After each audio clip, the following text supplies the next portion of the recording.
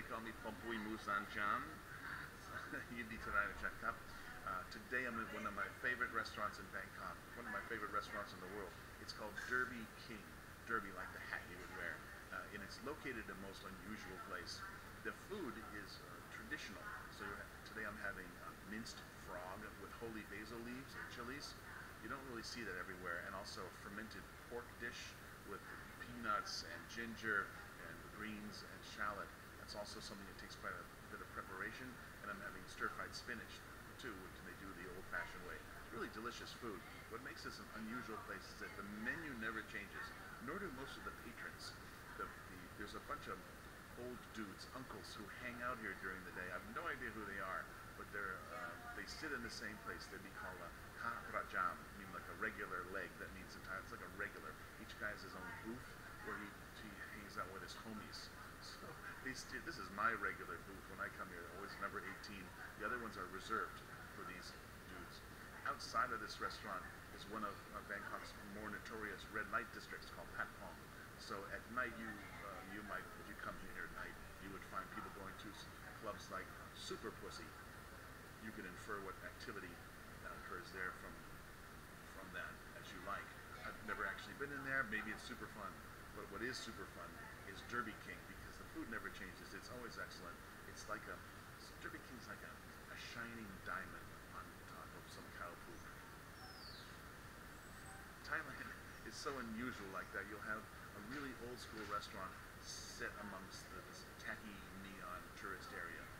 And you have to know where it is to go there. But every day, people from the nearby uh, big banks are headquartered near here. You have hundreds of people coming down the street and coming to this restaurant to get takeaway food. They do a really brisk business. Do over two dozen dishes every day to feed people. I come early at 10 o'clock uh, to have some coffee and then eat for a while. Because nearby, near me will be, every table will be filled with regulars who eat inside. These are like old Thai dudes who have their table, and that's where they sit, and no one else can sit at it during that period of lunch. It is their uh, their roost, their nest.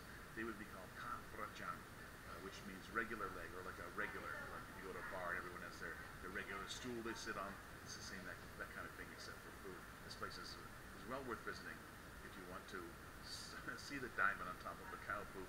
Derby King restaurant on uh, Patpong Soi One in steamy Bangkok. what a country. Today is a great pleasure for me because I'm in one of my favorite restaurants in the whole world, my favorite restaurant in Bangkok. It's called the Derby King, and it's unusually good food and a highly unusual location. Uh, the unusual food is things like this. This is fermented pork, which is matured outside of the refrigerator for several days until it sours. It's not quite rotten, it's just mature or fermented. It's really good, and you eat it with uh, shallot and ginger and peanuts. And then this is uh, stir-fried water spinach, or pak bung phai dang, this is called. And so you have uh, chilies and garlic. It has uh, oyster sauce and fish sauce.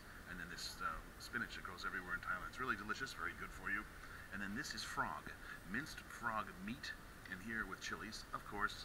And then this is a holy basil leaf. So most times you get uh, in the Western countries sweet basil, the kind you would use for to make uh, pesto.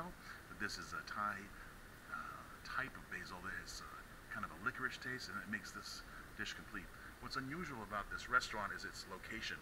It's sort of like a beautiful diamond on top of some cow poop, because the the street it's on is in one of the most notorious red light districts called Patpong in uh, in Bangkok where there's lots and lots of girly clubs. For example, one down the street is called Super Pussy.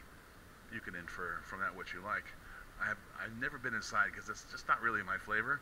I'm more into rock and roll bars, but uh, certainly a lot of people come down here at night to shop and go to all the, the different clubs, and they also come here to eat this amazing food at the Derby King in steamy Bangkok.